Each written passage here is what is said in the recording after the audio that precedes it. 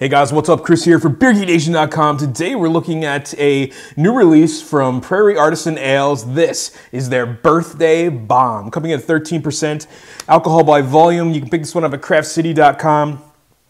Prairie has now been open for three years. This is the anniversary beer to celebrate that. They've released Bomb in a bunch of variations. Uh, Prairie Bomb, if you've never had it, is freaking fantastic. One of my favorite Imperial Stouts. So they released this one with a different twist on it this one. I should tell you what Bomb is. How about that? Uh, Bomb is an Imperial Stout aged in coffee, cocoa nibs, vanilla beans, and chili peppers. This one, though, they added caramel into.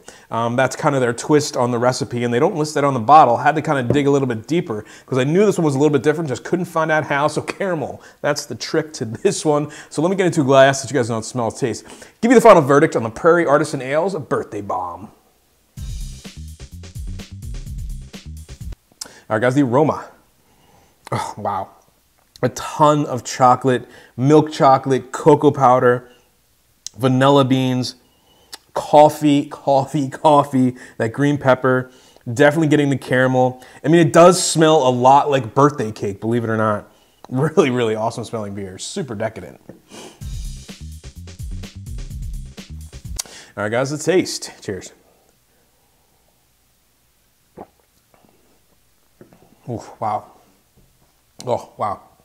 Right at the front of the tongue, massive, massive, chewy, chewy fudge cocoa, dark chocolate, middle of the mouth, the coffee just swipes over the tongue.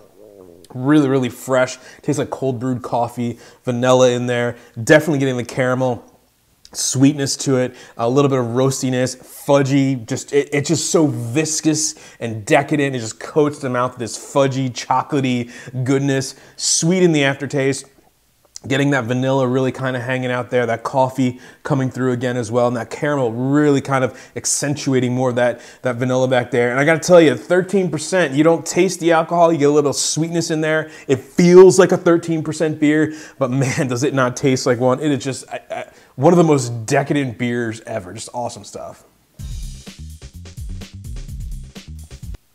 All right, guys, so the final verdict on the Prairie Bomb third anniversary birthday bomb you can pick this one up at craftcity.com, 13% alcohol by volume. Guys, this one is getting an A. I love this beer. It's literally probably the most decadent Imperial Stout I've ever had.